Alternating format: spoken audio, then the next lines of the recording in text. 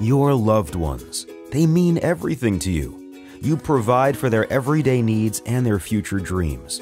But what if something were to happen to you? No one wants to think about dying, but have you ever wondered how your loved ones would manage financially? Wouldn't you like to know? You can, with life insurance. Having life insurance means that if you were to die, your loved ones would receive money that would allow them to pay funeral costs, monthly bills and living expenses, any outstanding debt, including medical bills, credit cards, and mortgage, and allow them to finance future needs like your children's education or your spouse's retirement. Unfortunately, many people don't get life insurance because they believe it's too expensive. For most people, that's just not true. For example, a healthy 30 year old can get $250,000 of coverage for around $12 a month.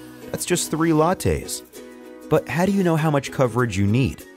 A general rule of thumb is 8 to 10 times your salary, but this may be too much or too little for you as everyone's situation is unique.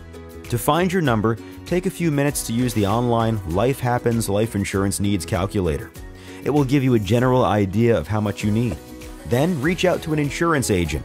It's free and they can help you get the right amount and right type of life insurance. You've always provided for your loved ones.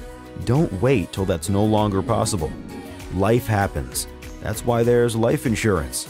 Learn more today at lifehappens.org.